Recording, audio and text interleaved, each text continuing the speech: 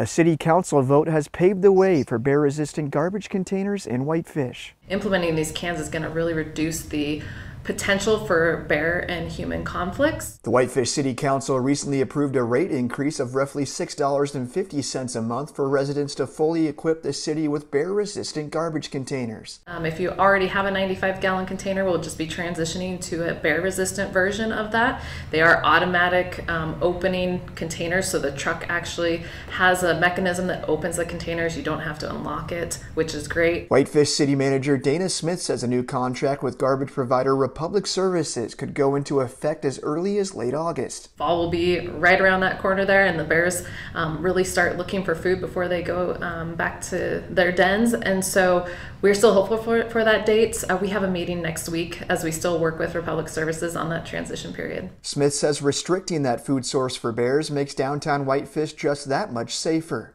hoping that it deters bears from coming into town, into the neighborhoods, so that when you're out walking on the trails, uh, you don't have to worry about carrying bear spray in town. In Whitefish, Sean Wells, MTN News.